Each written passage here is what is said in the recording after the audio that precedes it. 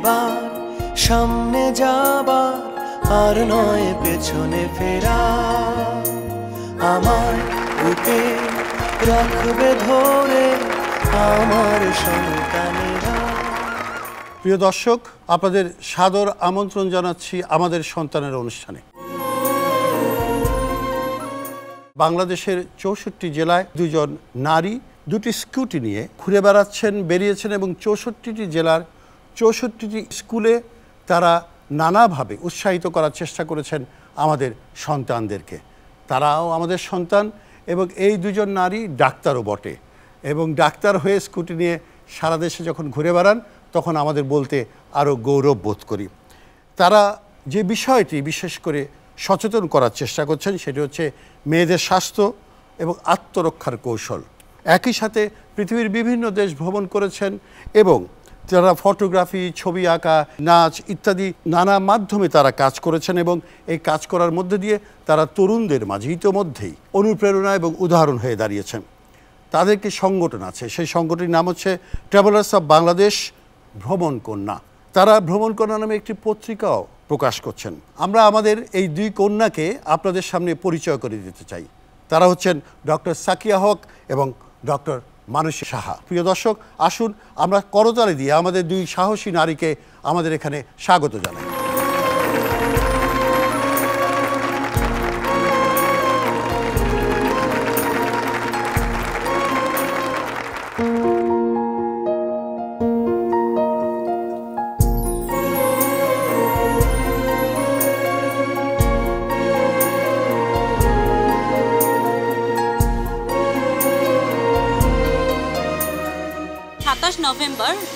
ষোলোতে আমাদের travellers of বাংলাদেশের যাত্রা শুরু হয়। এই সংগঠনের আন্ডারে কর্ণফুলি প্রেজেন্স নাই চোখে বাংলাদেশ, যেখানে দুইটা স্কুটিতে চারজন মেয়ে পুরো বাংলাদেশ ঘুরে দেখবে। এর পাশাপাশি প্রত্যেকটা জেলায় একটা করে স্কুলে তারা মেয়েদের সাথে কথা বলবে, বয়সন্ধিকালীন সমস্যা, বাংলাদেশ, বাংলাদেশের মুক্তিযুদ্ধ এবং আত্মরক্ষার উপর একটা ওয়ার্কশপ করাবে।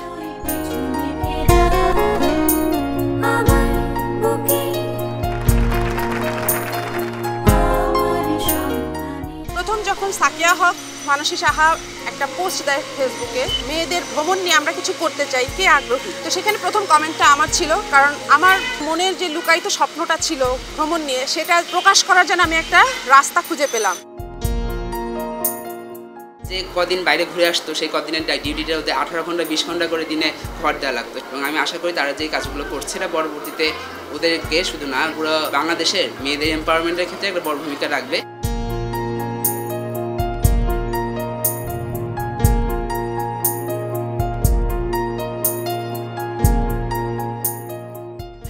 অনেক অনেক ইন্সপায়ার এই সংগঠনটা না থাকলে আমরা এতটুকু জানতাম না এতটুকু পারতাম না এবং আজকে আমাদের সংগঠনে একত্রিশ হাজারেরও বেশি মেয়ে। আশা নিয়ে বাঁচতে শেখায় ওদের ওরা দুইজন একটা আইকন বাংলাদেশে ওদের কাছ থেকে আর কিছু না হোক এই একটা শিক্ষা নিক। নারীরা পুরুষরা সবাই সমান।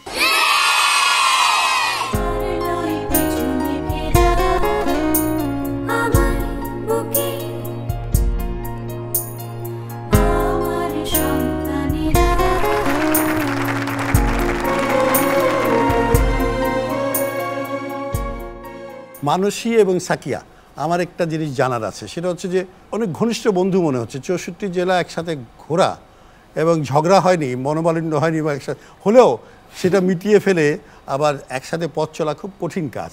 তো কবে থেকে তোমাদের বন্ধুত্ব?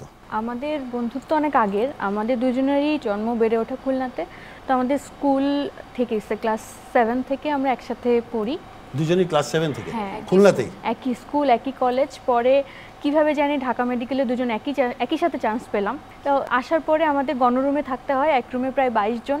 তো আমার রুমটার অ্যালোটেড ছিল অন্য আর একটা গণরুমে অন্য মানুষদের সাথে। তো আমি হচ্ছে বললাম যে না ওদের সাথে আমি থাকব না আমি তখন ওদের রুমে চলে আসি। তো সাকিয়াদের রুমে হ্যাঁ তো আমাদের এই নতুন গণরুমে ওরা সবাই ছিল ডি ব্যাচের আমি একমাত্র মেয়ে ছিলাম যে বি ব্যাচের কিন্তু ওদের সাথে থাকতে বা মিশতে কোনো সমস্যা হয়নি কারণ আমার বন্ধু তো আমার সাথে ছিল। ঝগড়া কখনো হয় নাই এরকম না বাট সিরিয়াস কখনো কোনো কিছু হয় নাই। মেন্টালিটিটা দুজনেরই প্রায় সেম অ্যান্ড আমরা জিনিসটাও মানে প্রতিটা জিনিসই কাইন্ড অফ একভাবেই হচ্ছে নিয়ে নেই। তো পরবর্তীতে পরিকল্পনা করতে গেলেও যে ট্রাভেলার্স অফ বাংলাদেশের সূচনা বা উৎপত্তি বা এরপরে আমরা যত প্রজেক্ট করেছি সব কিছু দেখা গেছে যে একই সাথে একই সময়ে প্ল্যান করা। ও হয়তো বা ওইটাই চিন্তা করছিল, আমিও হয়তো বা একই জিনিস চিন্তা করছিলাম। এরপরে যখন আমরা স্কুটি নিয়েও বাইরে গিয়েছি প্রতিটা জেলায়, তখন দেখতাম যে আমাদের মধ্যে সিঙ্ক আসলেই ভালো, যে স্কুটিতে করে আমরা যখন একটা জেলা থেকে আরেকটা জেলায় যাচ্ছি হয়তো বা আমিও ডাইনে ডানে যাওয়ার কথা চিন্তা করছি, ও হয়তো বা ডানে যাওয়ার কথাই চিন্তা করছে। সো দেখা যেত যে আমরা একই জিনিস প্রায় চিন্তা করছি। কিন্তু কবে স্কুটি চালাবে বা চালানো শিখলে বা স্কুটি নিয়ে সারা বাংলাদেশ ঘুরবে? স্কুটি চালানো আসলে শিখেছি স্কুটিটা হাতে পাওয়ার পর। সাতাশে নভেম্বর দুই হাজার ষোলো সালে আমাদের এই ট্রাভেলার্স অফ বাংলাদেশের সূচনা হয় প্রতিষ্ঠা হয়। এরপর কয়েক মাস পরেই আমরা ডিসিশন নেই ছয় এপ্রিল দুই হাজার সতেরোতে যে আমরা স্কুটিতে করে বাংলাদেশের চৌষট্টিটা জেলায় ভ্রমণ করব সাথে আমরা সামাজিক কিছু কাজকর্ম করব। তো এই ডিসিশনটা নেয়ার পরে আমরা কর্ণফুলি অটোমোবাইলস লিমিটেডকে অ্যাপ্রোচ করি যে আমরা এরকম চৌষট্টিটা জেলায় ঘুরতে চাই আমরা তখনও স্টুডেন্ট তো এটা এক্সিকিউট করার জন্য যদি আপনারা সহযোগিতা করতেন। তো তখন হচ্ছে তারা আমাদের দুটা স্কুটি তারা দেন। তো আমরা আসলে স্কুটি চালাতে পারতাম না আমরা সাইকেলই চালাতে পারতাম। তো আমরা চিন্তাও করি নাই আসলে কি আমরা পারব কি পারব না।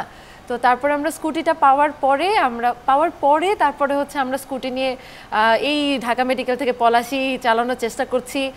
মাঠে চালিয়েছো প্রথমে? না প্রথমে ওই যে ঢাকা মেডিকেলের পাশে আমাদের একটা অডিটোরিয়াম আছে ওইটার মধ্যে আমরা চালানোর চেষ্টা করছি। ওখানে চালানোর পরে আমরা পলাশিতে গেলাম। ওখানে আসলে জ্যাম দেখে আমরা খুব ভয় পেয়ে গেছিলাম যে কীভাবে টার্ন নিব। টার্ন নেওয়ার সময় টার্ন নিতে পারি না তখন দেখা যায় যে আমরা হচ্ছে ঠেলে ঠেলে নিচ্ছি লোকজন হাসাহাসি করতেছে।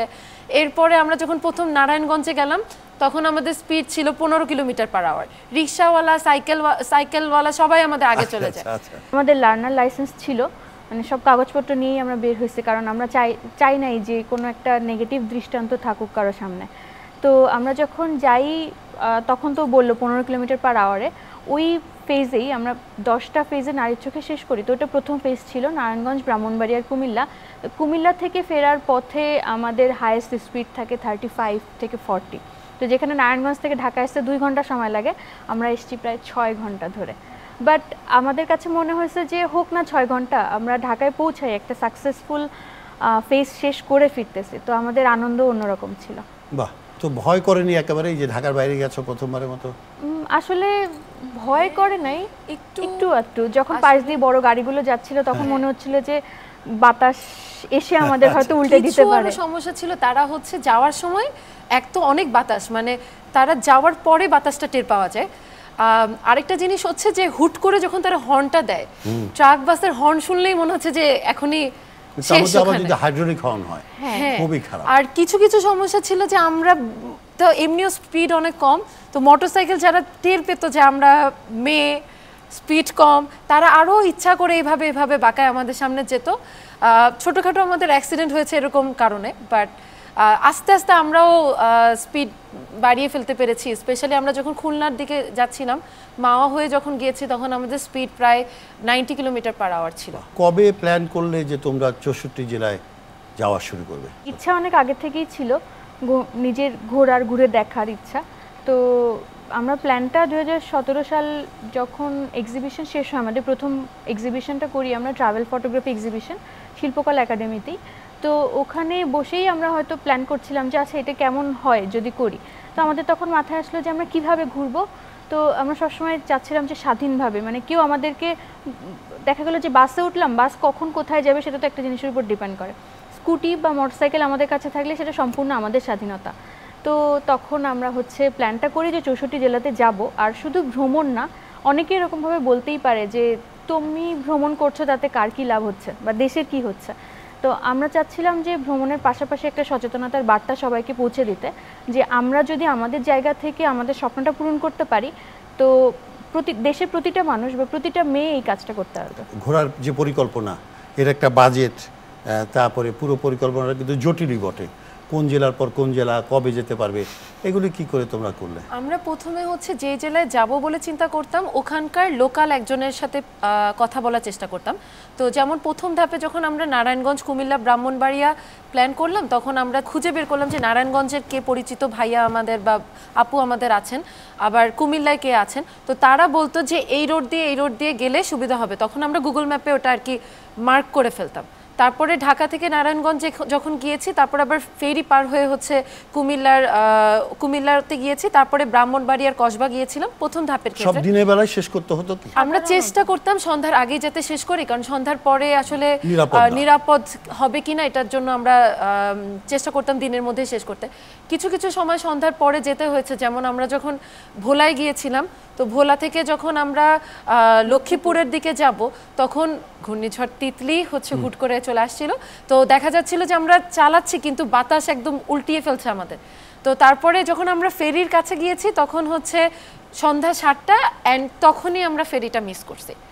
তারপরের ফেরিতে আমরা যখন উঠেছি তো লক্ষ্মীপুরে আমরা পৌঁছিয়েছি রাত একটায়। তো এরকম কিছু সিচুয়েশন আগে থেকে আবাসন ঠিক করা ছিল। আমাদের নুরুন আক্তার আপুর জন্য উনি হচ্ছে লক্ষ্মীপুরে সার্কিট হাউস বলে রেখেছিলেন। আর হচ্ছে ওখানকার এনডিসি স্যার আমাদের জন্য চিন্তা করতে করতে উনি হচ্ছে ফেরিঘাটেই চলে আসছিলেন। আচ্ছা। পরে আমাদের গুগল ম্যাপ আর অত রাতে দেখা লাগে নাই। আমরা এমনি সবসময় গুগল ম্যাপ দেখেই যাই। কিন্তু পরে ওনার মাইক্রো ফলো করে আমরা হচ্ছে বাইক নিয়ে চারজন গিয়েছিলাম। আচ্ছা নুরুন আক্তার তো এখানে উপস্থিত আছে। তার সাথে আমরা একটু কথা বলে নিই। তাই না? তোমরা অনেকটা গুরুস্থানীয় হিসাবে তাকে চিহ্নিত করো। আমাদের প্রত্যেকেরই হয়তো মনের মধ্যে এরকম আশা আছে, আকাঙ্ক্ষা আছে, স্বপ্ন আছে, ইচ্ছা আছে। সবার হয়ে ওঠে না যে সাহস করে, তার হয়। সাহস করেছে ওরা। এই সাহসের পেছনে যেই মানুষটি রয়েছে, অবশ্যই মা বাবার পাশাপাশি তিনি হচ্ছেন নুরুন আক্তার তিনি প্রবাসী কল্যাণ ও বৈদেশিক কর্মসংস্থান মন্ত্রণালয়ের উপসচিব। আপনি কীভাবে আমাদের এই দুই কন্যাকে সহযোগিতা এবং সাহায্য করেছেন, অনুপ্রাণিত করেছেন? এবং তারা বলতেছে উনি আমাদের গুরু। ওরা আমার কাছে দুজন বিস্ময় বালিকা। আর ওরা যদি বলে থাকে যে আমি তাদের গুরু মানে এটা আমি মানব না। কারণ আমি বলতে চাই যে ওদেরকে দেখে আমি অনুপ্রাণিত হই। আমি একটা কথা সবাইকে বলি যে একটা তৈরি হওয়া পথে সবাই আমরা হাঁটতে পারি। কিন্তু যেখানে কোনো পথই নাই, সেখানে একটা পথ হতে পারে এবং সেই পথে আমরা হাঁটবো। এটা চিন্তা করা, এটা যারা করতে পারে, সেরকম বিরল দুটা মেয়ে ওরা। ওরা ট্রাভেলার্সের প্রথম বর্ষপূর্তি উপলক্ষে ফটোগ্রাফি এক্সিবিশনের আয়োজন করেছিল। সেই কার্যক্রম দেখে আমি এতই অভিভূত যে আমি সারাক্ষণ ওদের সাথে কথা বলতে চাইতাম যে কি করে তাদের মাথায় এত বুদ্ধি আসে। ওরা এত সাহসী। আর সবচেয়ে বেশি যেটা আমার, আমি বলব যে ওরা দুজনই ভীষণ ভালো ছাত্রী। কয়েকটা জেলা ভ্রমণের পরে যখন আমি ওদেরকে জিজ্ঞেস করলাম যে, ও তোমরা মানে ওদের থাকা কিংবা যে যাও? তো ওরা বলল যে হ্যাঁ থাকারটা ওইখানে যারা পরিচিত থাকে তাদের সাথে তারা যোগাযোগ করে। কিংবা কেউ না থাকলে তাদেরকে মানে হোটেলে থাকার ব্যবস্থা করতে হয়, এটা আমাকে খুব ভয় পাইয়ে দিয়েছিল। তখন আমি ওদেরকে বললাম যে, তাহলে আমি তোমাদেরকে এটা আসলে আমি আমি ব্যবস্থা করেছি বলাটা ঠিক না। আসলে বলতে হবে যে এটা তারা মানে সাপোর্টটা পেয়ে গেছে আর কি ওখানে আমার, সব জেলাতেই আমাদের সার্কিট হাউস আছে। জেলা প্রশাসনের তত্ত্বাবধানে এটা চলে, কিন্তু সেখানে আমি বলে ওদেরকে থাকার ব্যবস্থা করে দিয়েছি। আমি যোগাযোগটা করেছি। কিন্তু সব জায়গাতেই আমি যেটা বলেছি যে ওরা দুজন ডক্টর দুজন ডক্টর মেয়ে আসবে সাথে আরও দুজন মানে ওদের পরিচয়ই ওদের ওখানে থাকার জন্য কাজে লেগেছে। হ্যাঁ। যেটা হয়েছে যে আমি কমিউনিকেশনটা করে দিয়েছি। আমি বলতে পারি যে আমি হয়তো এইটুকুই ওদের জন্য করেছি। ধন্যবাদ তোমাদের এই দুঃসাহসী হয়ে ওঠার পেছনে অবশ্যই তোমাদের মা বাবার একটা বড় ভূমিকা আছে। তো আজকে দুজনের মাই এখানে উপস্থিত। আপনাদেরকে অভিনন্দন জানাই এবং সাধুবাদ জানাই। আমি আপনাদের দুজনকে জিজ্ঞেস করব প্রথমে শাহনাজ বেগম আপনাকে, আপনি কীভাবে এই সাকিয়া হক, তাকে আপনি এইরকম একটি সাহসী, বলব দুঃসাহসী মেয়ে করে তুললেন? ছোটবেলা থেকেই ও খুব সাহসী ছিল, কিন্তু আমি অতটা বুঝতে পারিনি যে ভিতরে ভিতরে এত সাহস কিন্তু আস্তে আস্তে বড় হওয়ার পর আমি এটা বুঝতে পারছি যে ও ও অনেক দূর যাবে, এটা আমি পরে নিজেই বুঝতে পারছি। তারপরে আমাদের সামাজিক, আমাদের সমাজ, আমাদের পরিবেশ, অনেক চিন্তা করে আমি সবসময় বলতাম, এটা কোনো ওইটা কোনো এরকম বাইরে যেও না, তুমি বুঝো না কেন তুমি তো আমার অনেক বিপদে ফেলবা। তারপর দেখতাম যে, না, পরে আস্তে আস্তে আবার সব নিজেই এটা বোঝার চেষ্টা করতাম যে, না, সঠিক পথে আসে ভালো কাজই করে। তখন আবার নিজেই সাহস দিতাম যে, যাক ভালো কিছু করো এমন কিছু করো না সবসময় ভালোর দিকে থাকবা ভালো চিন্তা করবা ভালো কিছু করবা এটাই আমি চাই। লক্ষ্মীরানী শাহ আপনার সাথে কথা বলে একটু। খুবই ভালো লাগে ওদের দেখলে এবং ওদের যে সামনে চলার পথটা খুবই ভালো আমার কাছে খুবই ভালো লাগে। এবং ওরা যে শুধু ওরাই ঘুরছে না আমাদের মতন মাদেরও ওরা বের করে নিয়ে এসে সময় দিয়ে আমাদের নিয়ে ঘুরছে এজন্যে আরও ভালো লাগে। ওরা কোনো কিছু বাধা দেওয়া হতো না। ও যেটা করতে চাতো, ওরা সেইটাই করতে দিত। বিশেষ করে ওর বাবা বেশি। আমি হয়তো কোনো কিছুতে বাধা দিতাম।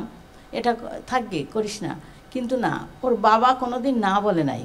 ও ছোটোবেলার থেকেই একটু সব জায়গায় ঘোরা, দেখা, কিছু জানা, কিছু করা, এই দিক দিয়ে খুব ছিল।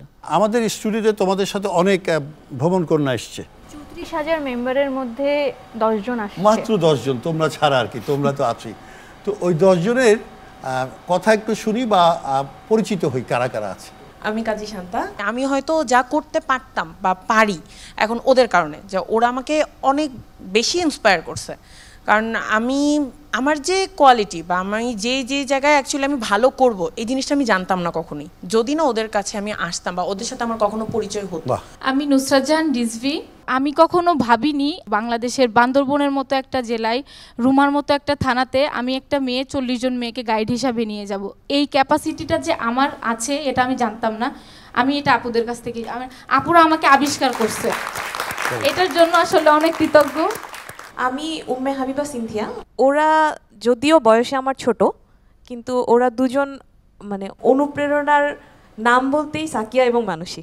আশা করি দোয়া করি ওরা অনেক দূরে গিয়ে যাবে। আচ্ছা আমি শুধু এখন বলব যারা বক্তব্য রাখছেন না সেই ভ্রমণ কন্যারা যদি মাইক্রোফোনটা সামনে নিয়ে নাম বলবেন বলে বলবেন যে আমি ভ্রমণ কন্যা। আমি শামসুনার সুমা আমি ভ্রমণ কন্যা।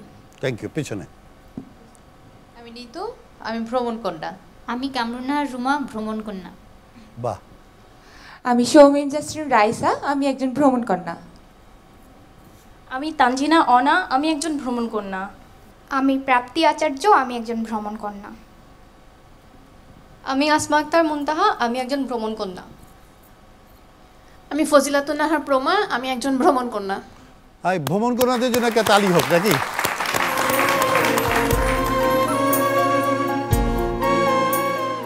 প্রিয় দর্শক আমাদের স্টুডিওতে উপস্থিত আছেন বেশ কজন তরুণ দর্শক। তাদের কোনো প্রশ্ন আছে কিনা? প্রথমে আপনি হ্যাঁ। কোন জেলা থেকে প্রথম স্টার্ট শুরু করছেন এবং শেষ কোথায়? প্রথম জেলা ছিল আমাদের নারায়ণগঞ্জে ছয় এপ্রিল দুই হাজার সতেরো ও শেষ জেলা ছিল ঢাকা পাঁচ মে দু হাজার উনিশ। এমন কোনো বিষয় মনে হয়েছে যে এটা আসলে আমাদের পরিবর্তন প্রয়োজন? আসলে অনেক অনেক অনেক জিনিস আছে যেগুলো আমরা সবাই মিলে পরিবর্তন করতে পারি। তো আমাদের একার বা আমাদের দুজনের পক্ষে এত কিছু পরিবর্তন করা সম্ভব না, কিন্তু আমাদের পক্ষে তো কিছু পরিবর্তন করা সম্ভব।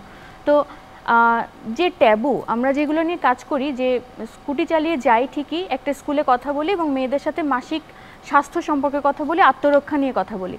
তো এই টপিকগুলো তাদের কাছে ট্যাবু তারা বলতে পারে না মানুষের কাছে। তো এই জিনিসটা যাতে ভাঙে তারা যেন বলতে পারে, তারা যেন ওপেন হতে পারে। এই সমস্যাটাগুলো নিয়ে আমরা আর কি কাজ করতে চাই, করতেছি এবং আমাদের ইচ্ছা আছে যে শুধু আমরা না বা শুধু এই চৌত্রিশ হাজার মেয়ে না, এর বাইরে যত ভাইয়ারা আছে আঙ্কেলরা আছেন বা অন্য মেয়েরা আছে, সবাই যেন এগুলো নিয়ে কাজ করে, কারণ it's it needs to be changed আপনারা যখন ভ্রমণ করেছিলেন, তখন আপনারা প্রশাসনিক সাপোর্টটা পেয়েছিলেন। বর্তমানে যারা আমাদের ছোট বোন বা আপুরা আছে অনেক সময় দেখা যাচ্ছে তারা এই সাপোর্টটা পাবে না বা হচ্ছে তাদের পরিচিত কেউ নেই। তাদের উদ্দেশ্যে আপনাদের কি বলার বা তাদের জন্য আপনাদের কোনো পরামর্শ আছে কি প্রথমে কিন্তু আমরা কোনো সাপোর্ট পাই নাই। প্রথম কথা। প্রথমে আমরা এইভাবেই অ্যাপ্রোচ করছি ফেসবুকের পোস্টে নারায়ণগঞ্জের কে আছেন বা কুমিল্লার কে আছেন এভাবেই অ্যাপ্রোচ করে। তো নারায়ণগঞ্জে কই থাকব কুমিল্লায় কই থাকব তখন আমরা খুঁজছি আশেপাশে কোনো পরিচিত আছে কিনা। ফ্রেন্ডের বড় ভাই বা ফ্রেন্ডের ছোট বোন বা চাচার মামা, মামার চাচা, এরকমভাবে আমরা খুঁজছি যে পরিচিত কেউ কখনো আছে কিনা। প্রথম বেশ কয়েকটা জেলায় এভাবে আমরা পরিচিত খুঁজে খুঁজে গিয়েছি। অ্যান্ড বেশিরভাগ সময় আমরা দেখতাম যে, চেষ্টা করতাম যে, আমরা যেহেতু মেয়ে, চারজনই মেয়ে, তো আমরা যাতে রিলায়েবল একটা জায়গায় থাকতে পারি। আমরা হোটেল অ্যাভয়েড করতাম সব সময় আর সব জায়গায় হোটেল নাইও। আচ্ছা এরপরে দেখা গেছে যে পনেরো বিশটা জেলার পরে যে তারপরে আমরা হচ্ছে প্রশাসনের সাপোর্ট বলতে নুরুন আক্তার ম্যাডাম উনি আর কি সার্কিট হাউসগুলোতে বলে দিতেন যে ইনারা আসবে বা ওরা আসবে একটু দেখে রাখতে। তো আমার মতে যে কোনো কিছু যদি শুরু করা হয় সাপোর্ট পেতে বেশি সময় লাগবে না। সবাই কিন্তু আজকাল পজিটিভ মেন্টালিটি আপন শক্তিতেই করা উচিত। আপন শক্তিতে এমনি চলে আসবে সাপোর্টটা আর একই সাথে আমরা যখন সব জায়গায় গিয়েছি একটা জিনিস দেখেছি যে আমাদের যদি উদ্দেশ্য ঠিক থাকে এবং মনে হয় যে এই উদ্দেশ্যটা ইটস ভ্যালিড এবং এটা ভালো আমরা ভালো একটা কাজ করছি। সেটা প্রশাসন বলেন স্থানীয় লোকজন বলেন সবাই কিন্তু সাহায্যের হাত বাড়িয়েই দেয়। চৌষট্টি জেলা ঘোরার জন্য হচ্ছে ফিনান্সিয়াল সাপোর্টটা প্রয়োজন ছিল। সো এটা আপনারা কীভাবে ম্যানেজ করেছেন? কর্ণফুলি অটোমোবাইলস লিমিটেড আমাদেরকে দুটো স্কুটার স্পন্সর করছে অনলি দুটো স্কুটার এটা ছাড়া ফুয়েল বলেন ওইখানে যে খাওয়া থাকা যাই হোক আমরা চারজন যেতাম আমরা চারজন ইকুয়ালি ডিভাইড করতাম। কারণ দেশ দেখার বা ঘোরার ইচ্ছাটা আমাদের নিজেদের পার্সোনালিও ছিল। তো যখন আমরা প্রায় তেত্রিশটা জেলা ঘুরে ফেলছি, তখন আমাদের এই কার্যক্রম একটু প্রচার হয় এবং তখন কিছু কিছু মানুষ আমাদের সাহায্য করতে চায়। কিন্তু আমরা ইন্ডিভিজুয়াল কেউ ব্যক্তিগত সাহায্য করবে সেটা আমরা চাইনি, কারণ সেটাতে স্বাধীনতা বা স্বকীয়তাটা থাকে না। পরবর্তীতে স্কয়ার ফার্মাসিউটিক্যালস আমাদের সাথে তিরিশটি জেলাতে সহযোগিতা করে আমাদের যে ফুয়েল খরচটা হতো, কারণ আমাদের স্কুটারে প্রচুর তেল খরচ হয় নর্মাল বাইকের থেকে। তো তারা আমাদের ফুয়েলের খরচটা দিতে রাজি হয়েছিল তিরিশটা জেলার জন্য। আর বাকি খাওয়া তো হচ্ছে দেখা যেত যে অনেক সময় এমন হতো যে দুপুরে আমরা রাস্তায় আসি খাওয়াও হচ্ছে না। তবে সকালে আর রাতের খাবারটা প্রশাসন থেকে আমরা শেষের প্রায় চল্লিশ তিরিশ চল্লিশটা জেলাতে আমাদের সার্কিট হাউসে থাকা এবং খাওয়াটা ওখানে ছিল। তো যেটা আমাদের জন্য অনেক সুবিধাজনক। বেশিরভাগ ক্ষেত্রে দাওয়াতি পেতাম। আর কোনো জেলায় গেলে মিষ্টি হোক আর খাবার দাবার হোক আমরা কখনো দাওয়াতে না আমরা করতাম কখনো মানা করি নাই। দাওয়াত দিলেই আমরা ওখানে হাজির। এমন কোনো স্বপ্ন আছে যেটা পূরণ হবে খুব শীঘ্রই বা করতে চাও? স্বপ্ন আসলেই অনেক কিছুই আছে। কিছু হয়তো বা পূরণ হবে কিছু হয়তো বা হবে না। তো একটা কাছের স্বপ্ন এরকম যে চৌষট্টিটা জেলায় আমরা গিয়েছি। তো আমাদের এখন ইচ্ছা আছে যে প্রতিটা জেলায় আমরা একটা ভলান্টিয়ার টিম তৈরি করব। যারা আমরা যেহেতু একটা মাত্র স্কুলে গিয়েছি, তারা ওই জেলার প্রতিটা স্কুলেই কার্যক্রমটা সম্পন্ন করবে। এটা আমাদের অদূর ভবিষ্যতের একটা স্বপ্ন। যেটা আমরা মাত্র যেহেতু নারী চোখে বাংলাদেশ শেষ করেছি এই মেতে, তো এখনও আমরা প্ল্যান করে পারিনি, তবে আমাদের ইচ্ছা আছে এটা করব। আরও কিছু স্বপ্ন তো আছেই, যেমন ট্রাভেলার্স অফ বাংলাদেশ বা ভ্রমণ কন্যা, এটা জাস্ট একটা সংগঠন থাকবে না। ভ্রমণ কন্যা অনেক বড় হবে যে কোনো বয়সের বাধা থাকবে না কোনো মেয়ের মধ্যে। যখন বাংলাদেশের প্রতিটা মেয়েই ভ্রমণ কন্যা বলে নিজেকে বলতে পারবে, তখন হয়তো বা আমাদের স্বপ্নের সার্থকতাটা আসবে। ট্রাভেলার্স অফ বাংলাদেশ বা ভ্রমণ কন্যা, এটা শুধুমাত্র মেয়েদের সংগঠন ঠিক আছে, কিন্তু যে কাজটা এটা করতেছে, সেটা শুধুমাত্র মেয়েরাই করবে এমন না। আমাদের বাংলাদেশের প্রতিটা মানুষ যদি সচেতন হতে পারে এবং তাদেরকে আমরা কোনো না কোনোভাবে সচেতন করতে পারি এটা ইচ্ছা। এই পর্যায়ে আমরা জানতে চাইব এই দুজন সফল এবং দুঃসাহসী কন্যার কাছে যে তারা মুক্তিযুদ্ধ নিয়ে কীরকম ভাবেন কি ভাবেন এবং প্রিয় বাংলাদেশ মাতৃভূমিকে নিয়ে কি ভাবেন? It's a topic close to the heart তো বাবা যেহেতু মুক্তিযোদ্ধা ছিলেন, এছাড়াও আমরা নিজেরাও মুক্তিযুদ্ধ নিয়ে যতটুকু পারি পড়ার সবসময় চেষ্টা করি। মানুষই আমাদের হচ্ছে যখন আমাদের ওয়ার্কশপ হয়েছে, সবসময় সেই মুক্তিযুদ্ধের সেশনটা নিত, স্কুলে স্কুলে। তো আমরা দেখতাম যে তাদের বাচ্চাদের মধ্যেও এটার অনেক গাফিলতি আছে। তো আমাদের কাছে মনে হয়েছিল যে এই গাফিলতিটা তখনই ঠিক হবে যদি এই টপিকটা মুক্তিযুদ্ধ বাংলাদেশ সম্পর্কে জানানোর ব্যাপারটা, আমরা যদি তাদের কাছে খুব সুন্দরভাবে গল্পের আকারে, অ্যানিমেশনের আকারে হোক, ভিডিওর মাধ্যমে হোক জাস্ট পড়ার মতো গদবাধা জায়গায় না রেখে সুন্দরভাবে তাদের কাছে উপস্থাপন করতে পারতাম, তাহলে তারা খুব ইন্টারেস্ট নিয়ে এটা নিয়ে জানতে চেত শিখতে পারত। আমরা যখন এই প্রজেক্টটা করি, তখন বাচ্চাদের মধ্যে যে আগ্রহটা যেন জাগে, এই উদ্দেশ্য নিয়ে আমাদের আসলে মুক্তিযুদ্ধ টপিকটা নেওয়া আমরা তাদেরকে গল্প আকারে বলতে থাকি। যেমন সাতজন বীরশ্রেষ্ঠের নাম যখন তাদেরকে বলি, আমাদের যতটুকু জ্ঞান আছে, ততটুকু জ্ঞানে আমরা তাদেরকে বলি যে, তারা কীভাবে যুদ্ধ করেছিলেন, কত সাহসের সাথে যুদ্ধ করেছিলেন। আমরা তাদেরকে ক্র্যাক প্ল্যাটুনের কথা বলি। আমরা তাদেরকে দশ নম্বর সেক্টরের অপারেশন জ্যাকপটের গল্পটা বলি। যখন তারা গল্প আকারে শোনে, তখন তারা বলে কি, এটা আমাদের দেশে হয়েছিল। যে হ্যাঁ এটা আমাদের দেশে হয়েছিল। তোমরা এটা সম্পর্কে জানতে পারো, তোমরা আরও বই পড়তে পারো। তো এই কৌতূহল বা আগ্রহটা তাদের মধ্যে যে হচ্ছে এটা আমাদের কাছে অনেক বড় একটা পাওয়া।